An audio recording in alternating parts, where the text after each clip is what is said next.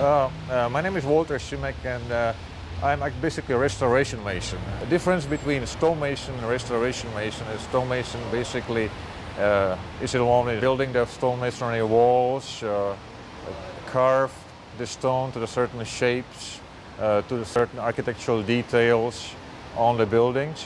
And restoration mason is, is the person who actually restore all the deteriorating stone and um, delaminating stone, uh, who restores uh, the brickwork, basically uh, in some, some cases take the bricks out, um, put the new ones in.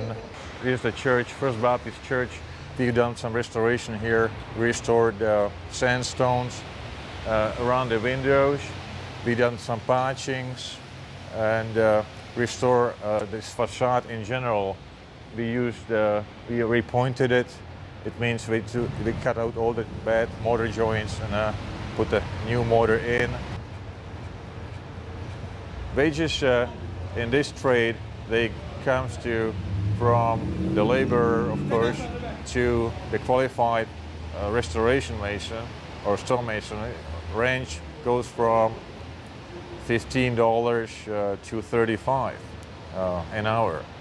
It depends uh, capability of that person.